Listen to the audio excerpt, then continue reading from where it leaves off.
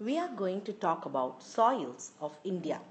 Soils are loose uppermost layer of the earth crust.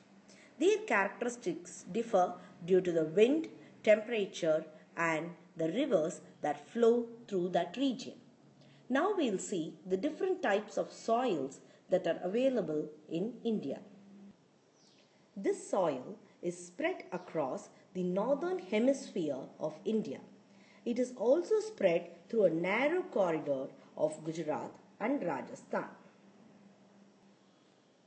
This is greatly contributed by the Indus, Ganges and the Brahmaputra rivers and this soil is formed by the sediments of the rivers.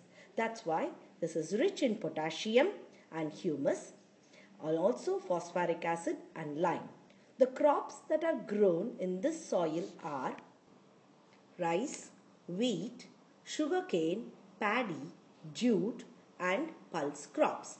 This soil covers to about 15 lakh square kilometer. This soil the ranges from the color of light color to dark brown in color. The next soil is the black soil. This is also called as regur or cotton soil. The color of the soil ranges from a grey color to dark brown or a black color. This soil is very highly clayey in content. Due to this reason, it has got a good capacity to retain its moisture. It also develops cracks during the summer and due to this, it is very difficult to work during the monsoon time. This soil is rich in iron, calcium, magnesium, carbonates, alumina, but poor in phosphorus, nitrogen and organic matter. The soil covers about 5.4 lakh square kilometers and the crops that are grown are primarily cotton followed by sugarcane, groundnut, millets, rice, wheat and oil seeds. The areas where we find this soil is the Deccan region that is Maharashtra, parts of Andhra Pradesh, northern Karnataka, parts of Tamil Nadu and Rajasthan. The next soil is the red soil. This is formed due to the poor weathering of rocks. It is more sandy and porous. This soil is rich in iron and has some organic matter but poor in phosphorus, nitrogen and lime. The soil is spread across 3.5 lakh square kilometers. The areas that has this soil are Tamil Nadu, southern Karnataka, Maharashtra, parts of Madhya Pradesh, West Bengal, northeastern states and eastern Rajasthan. The crops that are grown here are ragi, rice, wheat, sugarcane, groundnut, millets, tobacco and potato. The next soil is the laterite soil which is also called meaning is later means brick in Latin. It is formed under high temperature and rainfall which has a wet and a dry spell. The remains of iron and calcium oxides left behind is also known as laterite.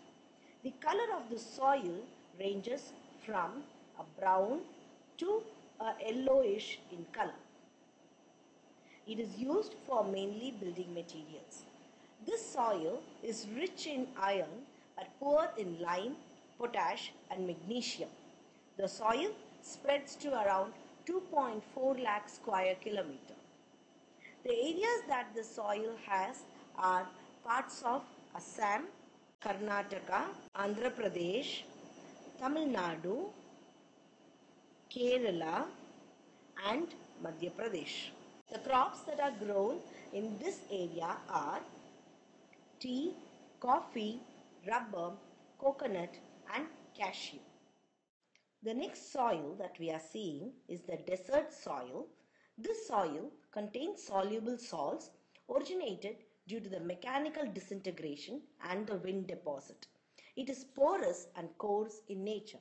It contains 90% sand and 10% clay.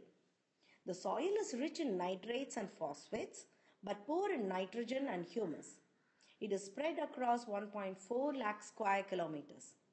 The areas include the arid and the semi-arid regions of Rajasthan, South Haryana, Punjab, Northern Gujarat. The crops that are grown here would be millets and barley.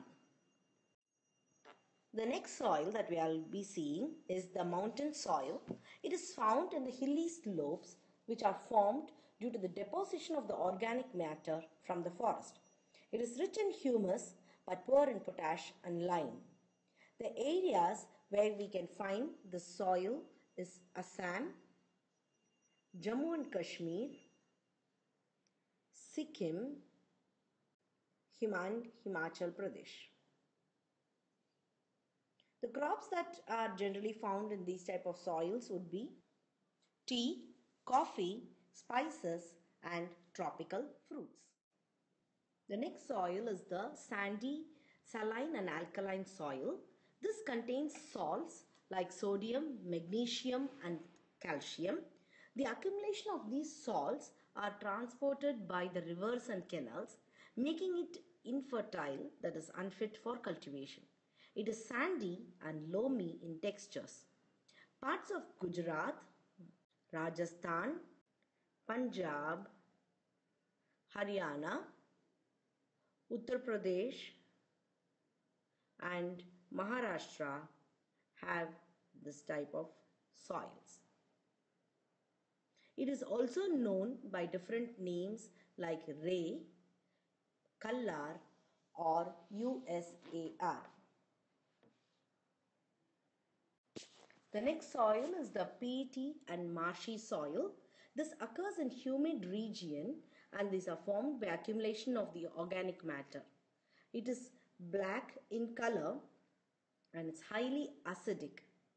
The areas that we find this soil is the Kottayam district and Alleppey in Kerala, the coastal Orissa and the Sundarbans in the West Bengal.